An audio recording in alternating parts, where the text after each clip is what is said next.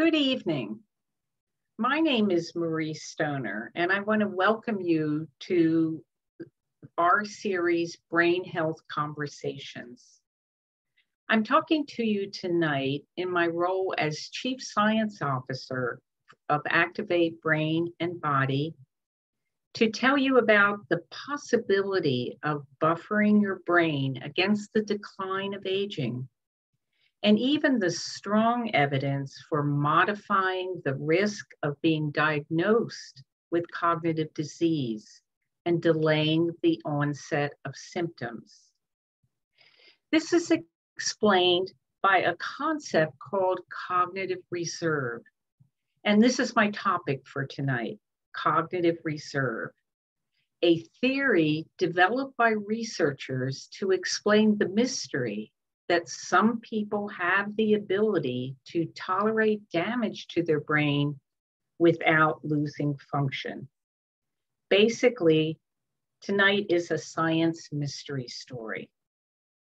To explain cognitive reserve, I need to go back to the 1980s when National Institute of Health started to pile a lot of money into brain research, started to gather a lot of data on brain, on people's cognitive function, and in particular, Alzheimer's disease, which was starting to replace cancer as the most dreaded disease. At that time, and officially until now, cognitive decline and Alzheimer's disease are diagnosed solely by clinical symptoms. Let me explain that. That's unlike most any other disease you can think of a heart, lung, stomach. You go in with a disease of those organs, and the doctor will ask you your clinical symptoms but then they want to examine the organ directly. They poke it, they prod it, they scope it, they biopsy it. But they can't do that with the brain. They couldn't do it then. They really can't yet do it. That's because the brain has what is called the blood brain barrier, which is a high risk to cut into. So, unless there is an urgent medical need, the brain is left alone, it's not examined. Currently, they're trying to find some ways to look inside the brain with scans and even some blood tests, but nothing has been validated. Instead, with the brain, the doctor only looks at symptoms and will consider mental status symptoms as a way of diagnosing. Uh, on the left, you see an example of one of the most widely used mental status exams called the MoCA, the Montreal Cognitive Assessment. So this is the scoring sheet. So up here you see three animals, name the animals. Later, the patient will be asked to remember the animals. Here is a trail you have to follow, 1A, 2B. Draw the shape. And to the right, you see the clock drawing, asked to draw a clock uh, showing 10 after 11. Uh, I don't know if you can see. um, my face is sort of over the Alzheimer's clock, but here is a picture of a healthy clock. And in the Alzheimer's, the person really loses orientation. And down here are scores for a number of other cognitive, uh, cognitive assessments. So uh, doctors use this kind of assessment. They'll probably also interview a family member or friend. And depending on these results, a patient is given a level of severity, no impairment, mild, moderate, or severe. This is what is meant by a clinical diagnosis. It's based on function alone. When somebody with Alzheimer's dies and an autopsy is done, this diagnosis can be confirmed by seeing the brain damage.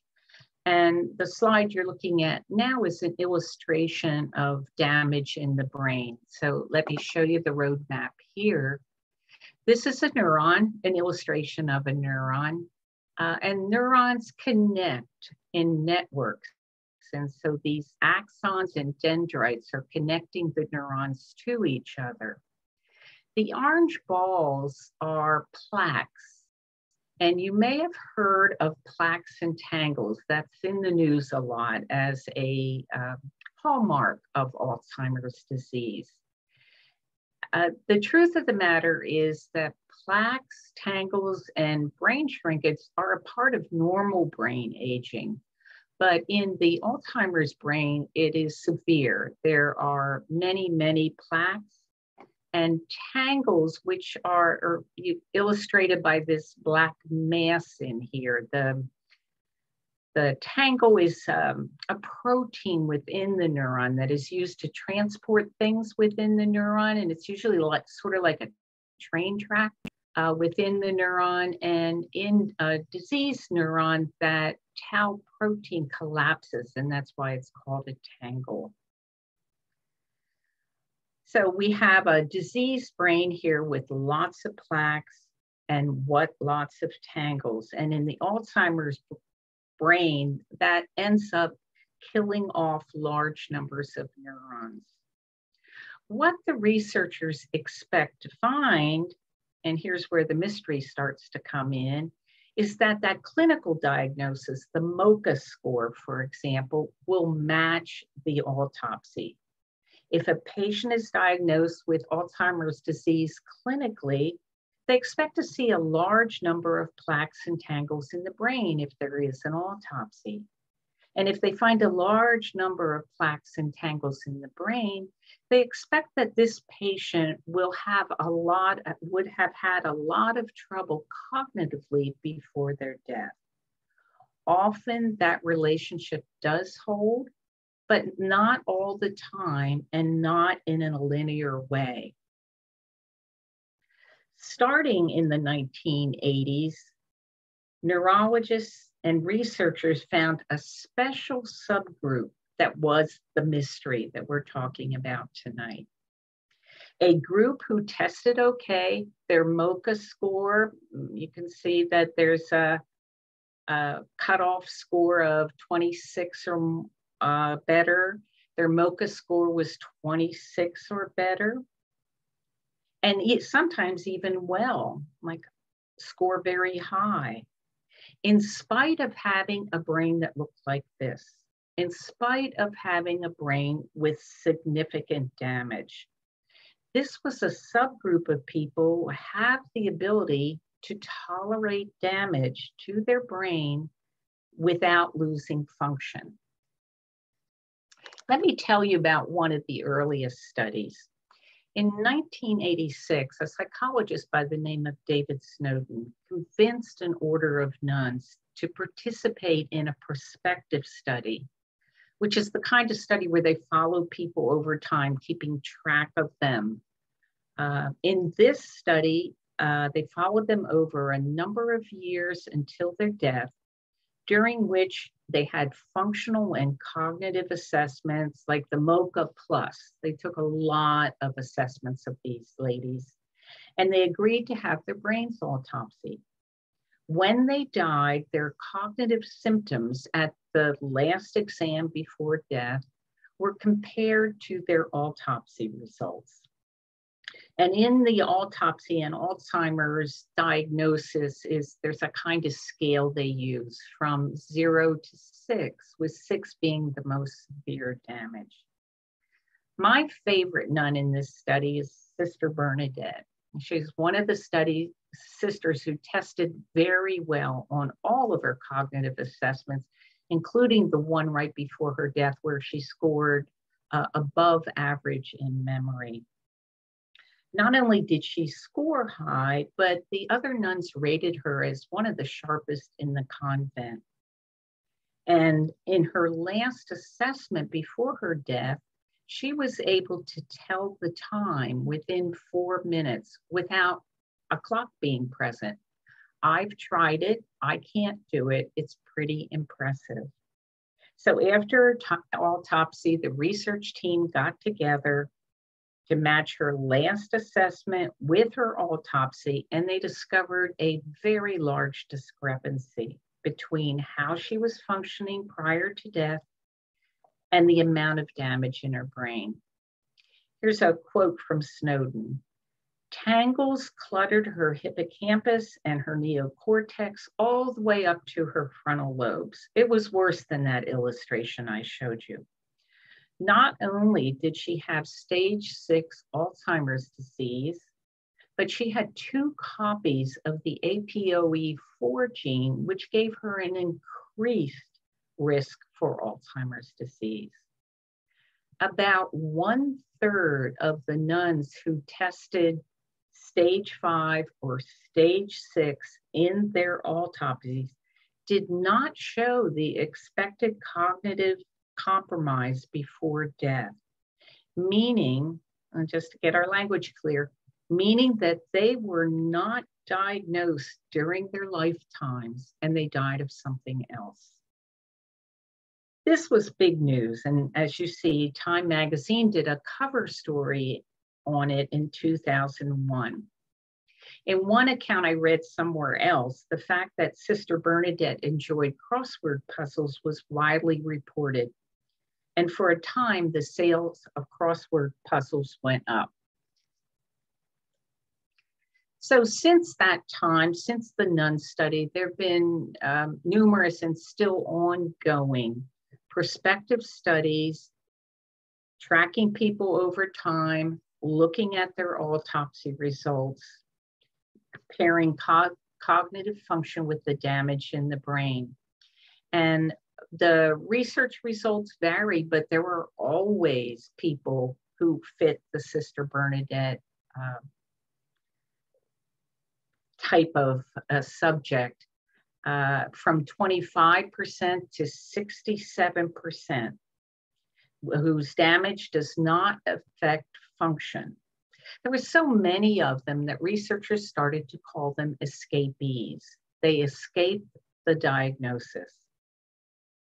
And this is where Yaakov Stern comes in, who is the man who was back then starting to investigate these escapees. He proposed this concept of cognitive reserve, which is uh, our topic tonight to explain how some people cope better than others with the same amount of damage to the brain. He and other investigators started looking at these escapees to see what was different about them. What they found is really interesting. They found that it was the way they lived their lives that separated them from the people who didn't escape evidence is strong that the best way to build cognitive reserve is through choices that you make every day.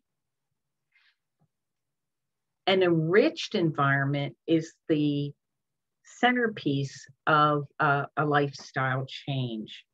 From enriched environment creates this process of cognitive reserve from mouse studies to human studies, the thing that appears to distinguish escapees from those who end up losing function and being diagnosed is what researchers do call this enriched environment.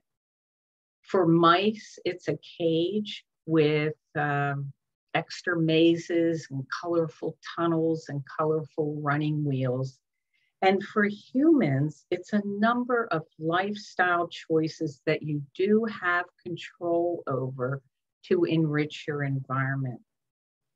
According to Stern, an enriched environment builds this reserve that allows the brain to compensate for the damage by building stronger brain cell connections. There is damage but there are compensatory strong networks. So let's take a look at some of the lifestyle characteristics they found uh, that the escapee group had. At first, they looked backwards into their history, and they, they did find that more years of education and more years of stimulating work did describe this group of escapees. But as they continued their research in these prospective studies going forward, they found independent, strong evidence that midlife activities also build cognitive reserve. The one that has been researched the most and has the strongest support in terms of lifestyle changes is physical activity. So I'm just referencing one study here this is uh, talking about a review study. And a review study, what they do there is they take a bunch of studies, in this case, 11 studies, put all the results together, and that gives it more weight than just one study. So combining the results of 11 studies showed that regular exercise can significantly reduce the rate, the risk, I imagine under my picture there, reduce the risk of developing dementia by about 30%. Remember, reducing the risk of developing dementia means reducing the risk of showing impairment during your lifetime, regardless of what's going on in your brain. For Alzheimer's disease specifically, the risk was reduced by 45%.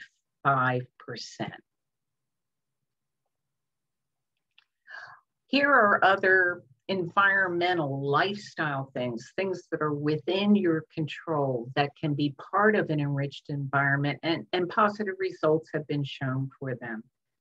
Physical activity, social interaction, new and complex learning, and nutrition the most important thing to understand about cognitive reserve, I believe, is that it's a result of many brain friendly type activities, including all of these.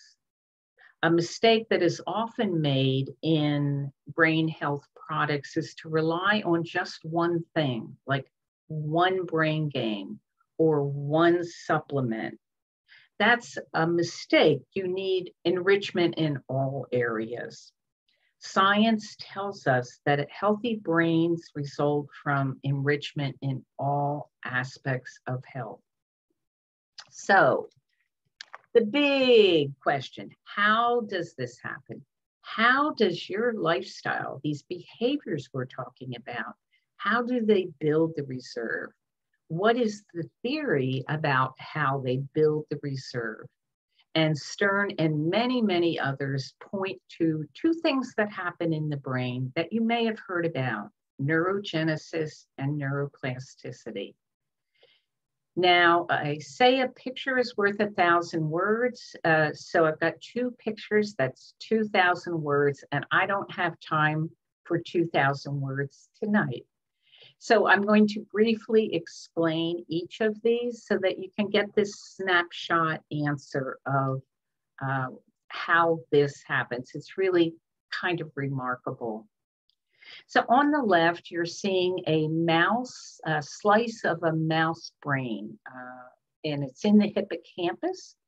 So this shows a part of the brain, a slice of brain function in a mouse. And these little pink globules coming down are actually new neurons, uh, immature neurons coming into uh, action. That's what neurogenesis is birth of neurons.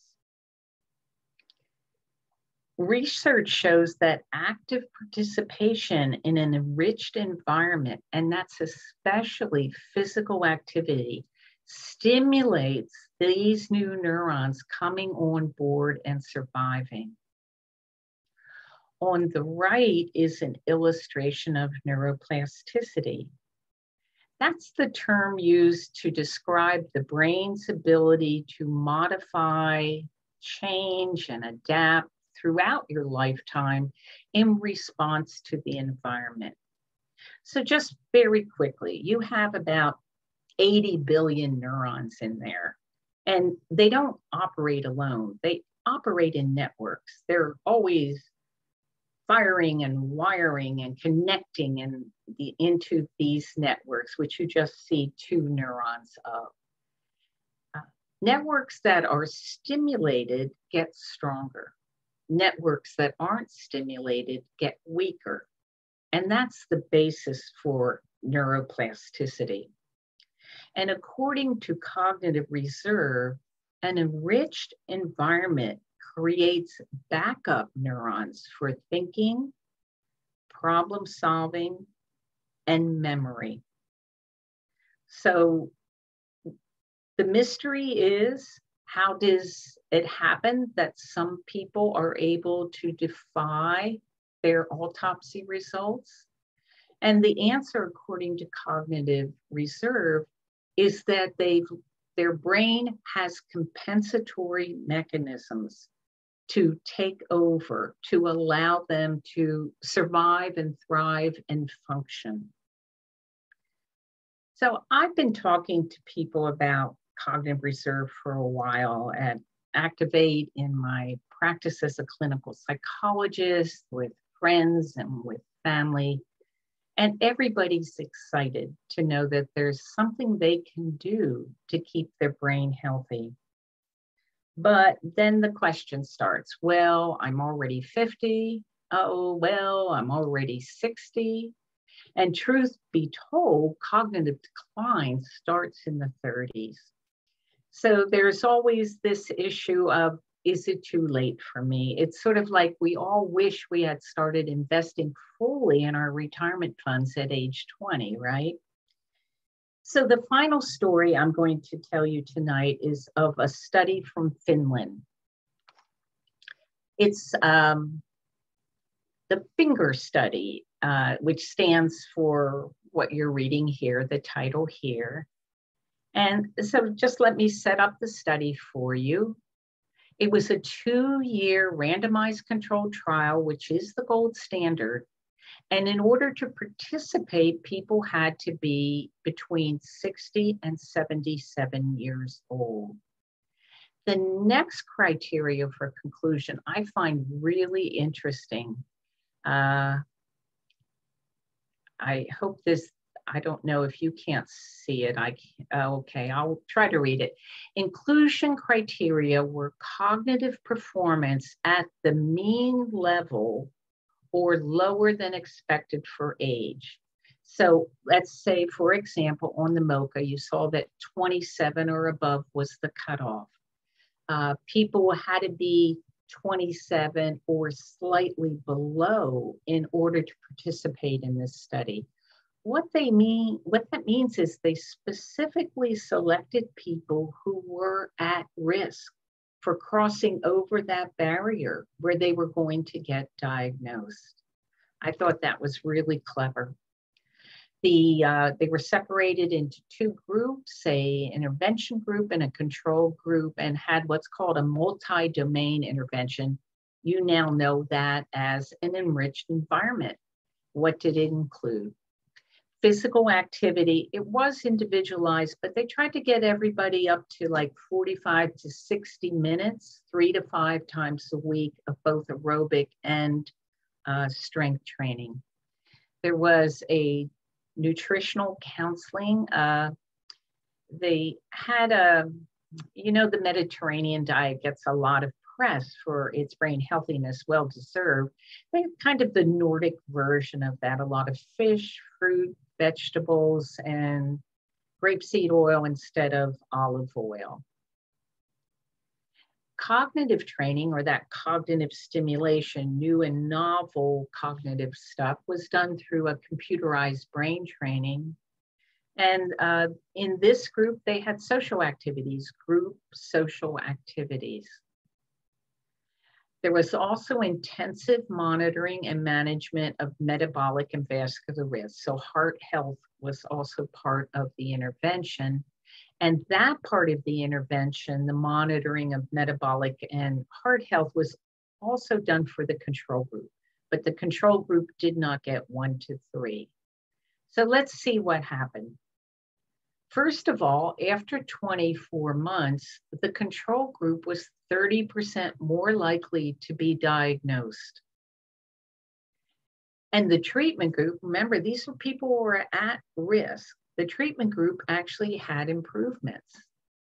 They improved their processing speed, which is how quickly you kind of process and respond to the environment and uh, predictably slows down with aging. And they improved their executive functioning, which is um, umbrella term for things like uh, working memory, flexible thinking, and self-control. So these multi-domain enriched environment intervention studies are coming more and more online in the research community because we really want to find a way to help people at risk particularly, but really the whole population, um, you know, kind of keep, keep against the trajectory of their aging.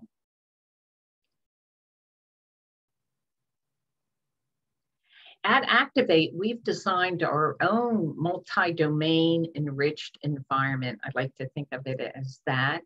Uh, in our program, we've taken these five pillars, these enriched environmental lifestyle behaviors, and put them together in an individualized program for each member.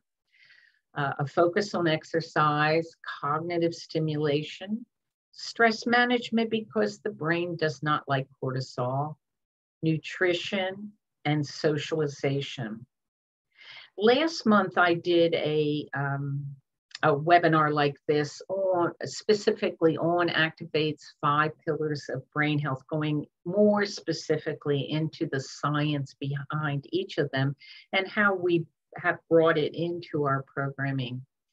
If you, um, I, I think Adam has told me that there, when this this webinar is being recorded and will be sent out to all of you. And they're going to include a link to that webinar also. It'll give you a, more expanded view of these lifestyle uh, variables that I'm talking about. So what are our takeaways for the talk? How do you become an escapee? It is possible to build a reserve of stronger and more flexible neural networks through modifiable lifestyle choices. You know, just knowing that uh, can help. You can sort of take a look around your own environment. How can you enrich it? You know, what's something new and different you can do? And make sure to have part of your enriched environment be physical activity. The best path to cognitive reserve is active participation in a diverse, enriched environment. And lastly, it's never too late. Uh, think about those Finns. Uh, it's never too late to add to your store of cognitive reserve. So I want to thank you for your time and attention. And here uh, is all the ways you can get in touch with us. Uh, we really like hearing from people. Any questions you have, any comments you have, and especially if you would like um, to uh, reach out to discuss the Activate program opening up very soon uh, in Cincinnati. So thank you.